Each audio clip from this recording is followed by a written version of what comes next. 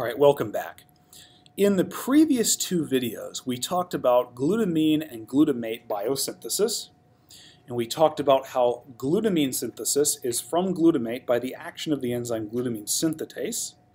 And then we went over the covalent regulation of glutamine synthetase and saw that it's very complicated. Now, I think that the allosteric regulation of glutamine synthetase is actually a little bit easier to understand.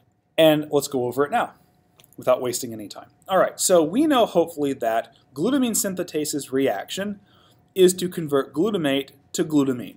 All right, and we know that that reaction is going to consume two molecules. It's going to consume ATP and ammonia.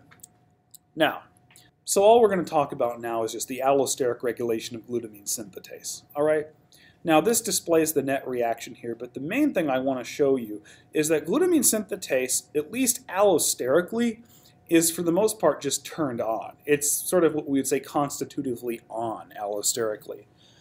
The way it's regulated mainly is by turning the enzyme off, is by allosteric inhibition. And we notice that glutamate is converted to glutamine, as we've, as we've said in multiple videos. Glutamine can be used, depending on the organism, to make six main molecules adenosine monophosphate, tryptophan, carbamyl phosphate, glucosamine 6 phosphate, histidine, and CTP, cytidine triphosphate. All right. It turns out those six molecules can allosterically inhibit glutamine synthetase, denoted by these X's right here. Okay. Why is that important? Well, if we have, say, tons of uh, CTP, that's an indication that we already have tons of glutamine. So CTP concentration proportional to that of glutamine. So if we have tons of CTP, we don't need to make any more glutamine, so it makes sense that CTP would turn this enzyme off, considering the fact that it's also using up ATP. All right. In addition, glycine and alanine, two other amino acids, can also inhibit glutamine synthetase.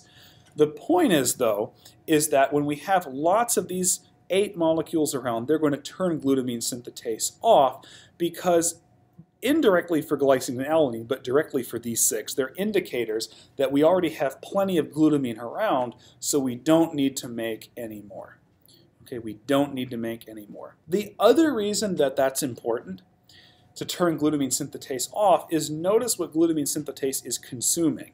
It's consuming ammonia, so if we had tons of this enzyme uh, active all the time, we'd be lowering the ammonia to dangerous levels. Now I mentioned that ammonia is toxic, and it is. Okay, we've mentioned in previous videos that in fact mutations in some enzymes that consume ammonia can lead to mental retardation at a very young age. It's very toxic. It can even kill you in high concentrations. But at the same time, just like anything, very low levels are also dangerous. We'd like to maintain a very, very narrow range of concentration for ammonia. And so if we have con constantly active glutamine synthetase, we're lowering ammonia concentration. And ammonia is used to make other things, so we have to maintain a concentration. So if glutamine synthetase is too active, then turning the enzyme off will allow ammonia to build back up to at least safe levels to where we can use that ammonia for other things. Okay, so hopefully that makes a little bit of sense.